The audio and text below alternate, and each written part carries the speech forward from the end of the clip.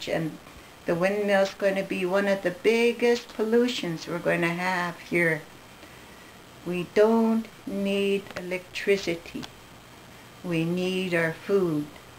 We have children, great-grandchildren to think about and we can go without electricity. We can't, can't go without our food. We can't eat our electricity.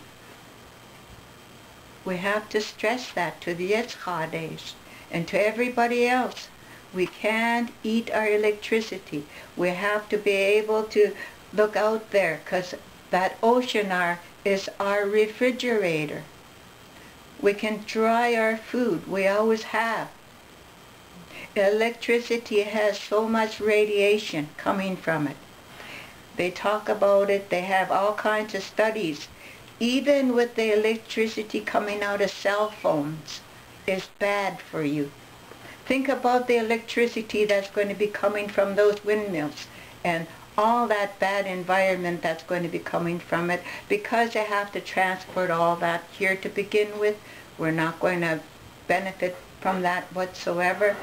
They always have to have a special oil for it and they have to, people, our people's not going to benefit from it because they're not going to be allowing them to go out there to oil anything.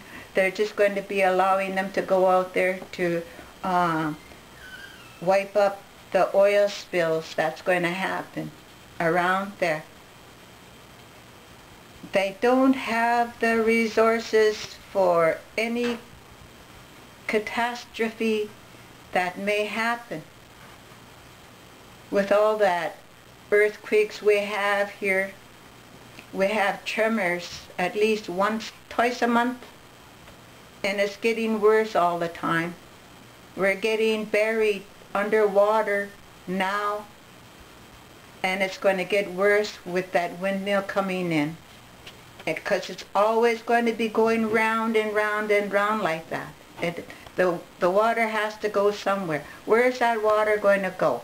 It's going to come here on our island